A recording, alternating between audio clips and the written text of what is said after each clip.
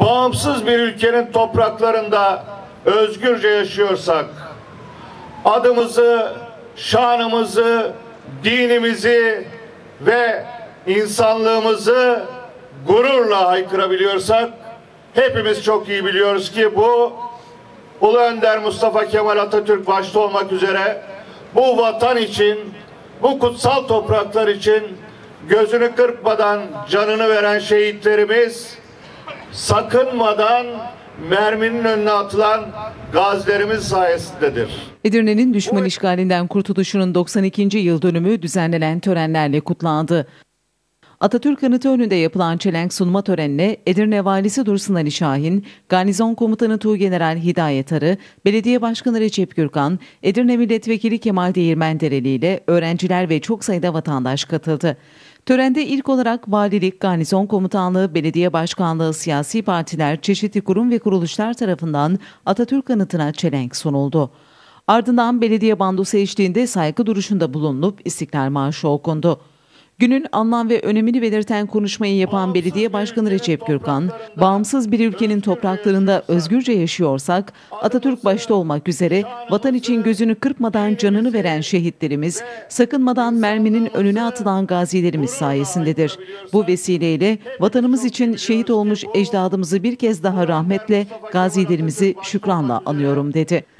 Bu aziz vatan için, bu mübarek topraklar için, bu güzel şehir için, bu değerli insanlar için hizmet etmekten ne kadar gurur duyduğumuzu hepimiz her vesileyle ifade ediyoruz. Şunu çok iyi biliyoruz ki Edirne'de olmak, Edirneli olmak gerçekten bir ayrıcalıktır. Çünkü Edirneliler yüzlerce yıl boyunca Anadolu'ya karşı yapılmaya çalışılan bütün işgallere, bütün savaşlara, bütün çatışmalara yiğitçe, can siperhane bir şekilde karşı koymuşlardır. Eğer İstanbul, eğer Ankara, Anadolu bir düşman işgaliyle karşılaşmamışsa biliniz ki bu kahraman, yiğit, cesur Edirneliler sayesinde olmuştur. Dün olduğu gibi bugün de Bugün olduğu gibi gelecekte de Edirneliler Türkiye Cumhuriyeti için, Türkiye Cumhuriyeti'nin bekası için, sınırlarının korunması için ve aydınlık geleceğimiz için gözlerini kırpmadan canlarını fedaya hazırdırlar. Edirneli demek Ulu Önder Mustafa Kemal Atatürk'ün ilke ve devrimlerinin takipçisi demek.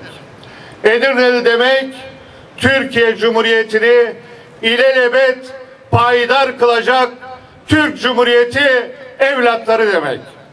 Kurtuluş Bayramımız kutlu olsun. Daha sonra Süheyl Ünver Mesleki ve Teknik Anadolu Lisesi öğrencisi Betül Çağlar Edirne isimli şiiri okudu. Hasret gözyaşlarım Meriç'le akar. Duygular Tunca'yla yüzümü yıkar. Balkan şehitleri maziye bakar.